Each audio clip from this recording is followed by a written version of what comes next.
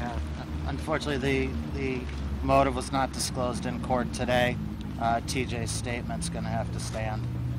What was your reaction to his statement to the families?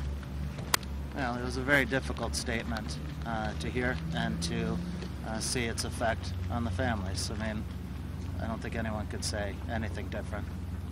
So, Ian, did the judge know he was going to wear that T-shirt to court?